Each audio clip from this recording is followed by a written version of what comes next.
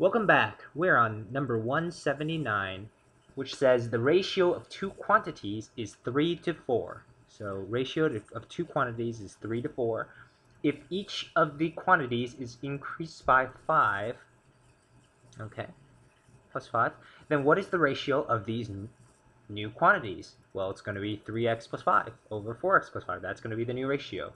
But that is not any of the answer choices. Um, they have a is 3 over 4. Well, it's not going to be that because x could be anything. So it could be much higher. It could be much lower. B says 8 over 9. That's also not going to work. Same reason. 18 over 19. It's not going to work. D says 23 over 24. That's not going to work because, again, x could be anything. If x were 2, it'd be a different ratio than if x were 3.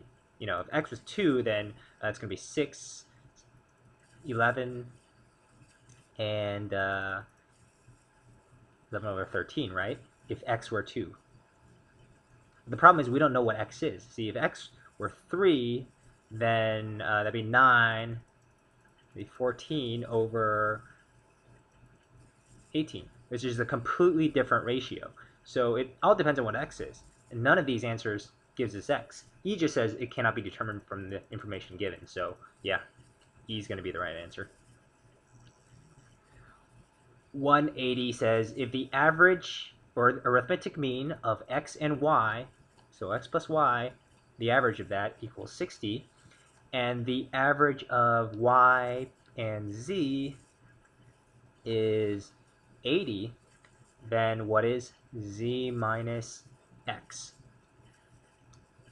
Okay, um, well we've already set up these two problems. Let's cross multiply and we get x plus y equals 120 and y plus z equals 160. And then uh, both of these equations have a y in them, so let's solve for the y and set them equal to each other. y equals 120 minus x on the left, and y equals 160 minus z. Let's set them equal to each other, and we get 120 minus x equals 160 minus z. What happens when we isolate 120 and uh, move the z over to the, to the, what happens when we, when we move 120 to the right and z to the left? We get z minus x equals 160 minus 120, which is 40. And z minus x is what we were solving for, so we know z minus x equals 40. 40 is answer B. 181 says, if half of the air in a tank is removed with each stroke of a vacuum pump, what fraction of the original amount of air has been removed after four strokes? Four strokes. Uh, how much air has been removed? Okay, so let's, you know what? I like to visualize this. So I'm going to draw this tank. Let's pretend this is the tank. So, stroke one, what happens? We remove half of the tank, right? So previously, um, you know, it was completely filled. We removed half of it. So that's after stroke one. We removed uh, half. Or I'll write it out here. What happens after stroke two? Stroke two, we uh, remove half of what's left, right? So half of a half is going to be a fourth. So after stroke two, we have removed a fourth of the original air.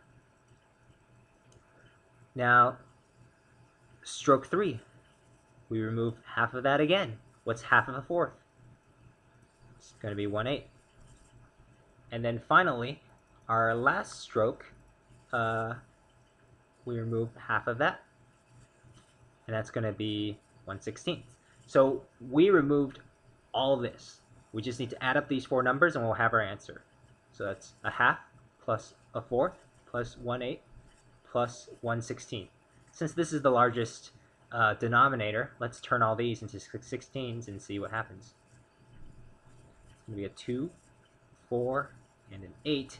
Add them together and you get 15 over 16. And that is going to be answer A.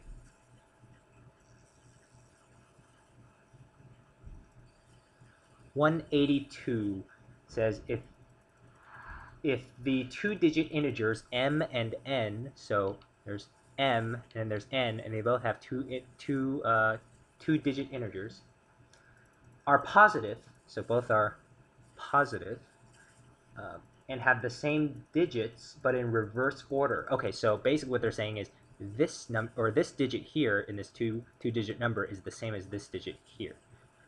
Um, which of the following cannot be the sum of m and n? So cannot be m plus n. And they give us uh, a equals 181, b is 165, c is 121, d is 99, and e is 44. Cannot be m plus n. Well, one thing that we could do to solve this problem is, let's make these variables. So x and y, whatever this number is, 10x plus y is going to be m, right? Because if were, this was 5, for example, and this was 2, then 50 plus 2 is going to be 52. By that same logic, 10y plus x is going to equal n, because if y was 6 and x was 3, like let's say the number was 63, then 60 plus 3 is going to be 63. So using that logic, we've figured out what m and n are in terms of x and y. Hmm. We're looking for what it what cannot be m plus n, right? So if m is 10x plus y and n is 10y plus x, let's add them together and see what it could be so we know what we're looking for, or at least what we're not looking for. So 10x plus y plus 10y plus x is 11x plus 11y, which is 11 times x plus y. I guess then whatever the answer is here, it must be divisible by 11. That's what this is telling us. So which one of these are divisible by 11? That's not going to be our answer. So E is uh, divisible by 11, D is, C is. 165, let's see, well this number plus this number gets you the middle number, and I talked about that rule in an earlier video, so 165 is definitely divisible by 11. So the only one left is A, and we are looking for something that cannot be m plus n. So A is going to be your correct answer. Boom. 183 says car X and car Y. So there are two cars. Car X, car Y traveled the same 80 mile route. Oh, this is going to be a rate question. So we got rate, we have distance, and we have time. And you know that rate times uh, time equals distance, and that uh, see, rate equals distance over time. Those are just you know, when you see a question like this, just write them out on your piece of paper or write them out on your, your board. You actually have a board on the, on the day of the test, um, and so that you can reference it. Anyway, um, let's, uh, let's write them out actually. Rate, um, time, and distance. And make a little chart here. So car X and car Y. Now, they say that they traveled the same 80 mile route. So we know the distance is going to be 80 miles both cars traveled the same distance. Car X took two hours to do it. So two hours for car X. And car Y, oh, they don't tell you. So let's use a variable. Let's just say T. Car Y used T. Um, in terms of the speed, car Y traveled at an average speed that was 50% faster than the average speed of car X. So whatever car X's rate was, this was 50% faster, so 1.5 R.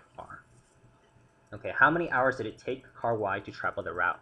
So we are looking for this. We're looking for T. What is T? Okay. How, where do we begin? Where do we begin? Well, we see that we know that rate equals distance over time, and they gave us the distance and they gave us the time. So we can solve for R. And the rate is going to be 40, right? And we know that car Y, the rate of that is 1.5 of 40. So that's going to be 60. And time is going to be distance over rate. So the distance is 80 and the rate is 60, and the time is going to be 80 over 60, which is uh, 8 over 6, which is 1 and, uh, let's see. Yeah, so it's going to be 1 and 1 third when you uh, simplify that. And that is answer C.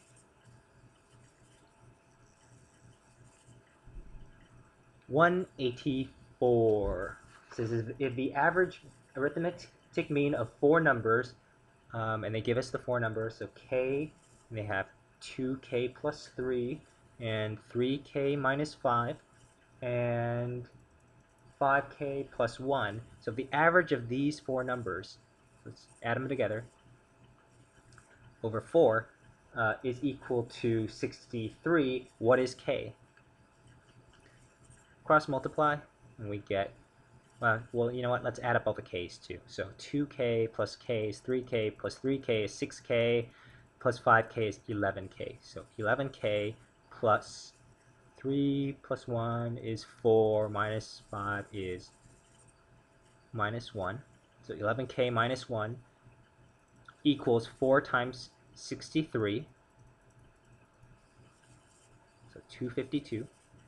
I move the 1 over and we get 11k equals 253. Now we just solve for k by dividing. It goes into it 2 times.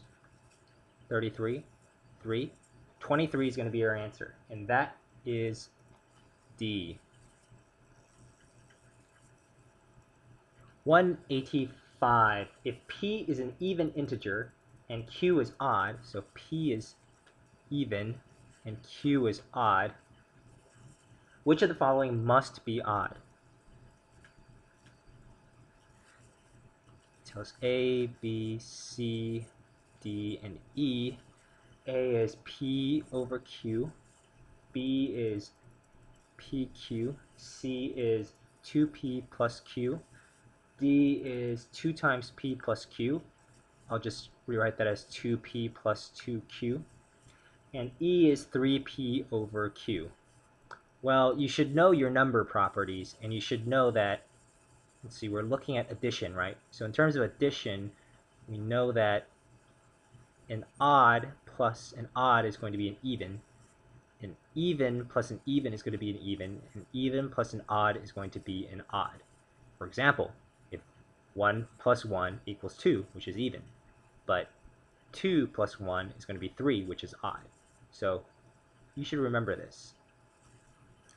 Okay, so what can we do with this? Well, let's test out the different answers and see what we get.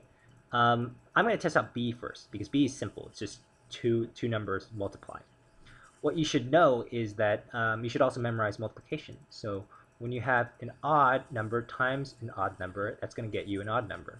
An even times an even is going to get you an even. An even times an odd is going to get you an even. So p is even, q is odd. That means this is a even times an odd, that's going to be even. So we know it's not B. Let's try C. C is 2P plus Q. So P is an even, 2 is an even, so even times even is going to be an even number, plus Q is an odd number, so even plus odd is going to be odd. Ah, they're saying what must be odd, and C is definitely odd. So we've already found our answer. C is going to be our answer if you try any of these other choices, it's it's going to be the same. You know, it's not going to work. So just, you know, for starters, let's try D. 2p, 2 is an even, p is even, so that's going to be even, plus 2 is an even times an odd, even times odd is going to be an even, and even plus even is going to be even. So yeah, these other ones aren't going to work. C is the right answer, and that is how you solve number 185. All right, check me out in the next video.